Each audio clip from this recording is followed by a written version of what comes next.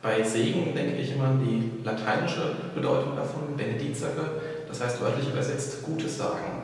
Das heißt, Segen ist für mich, ich rede gut mit anderen, ich rede gut zu anderen und ich handle natürlich auch entsprechend.